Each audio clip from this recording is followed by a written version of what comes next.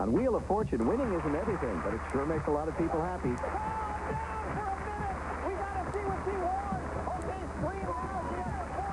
We sing, we dance, we love every minute of it. We're going to have a lot of fun while we're here tonight with the help of Pat Sajak and Vanna White. Let's see, three contestants times five shows carry the one.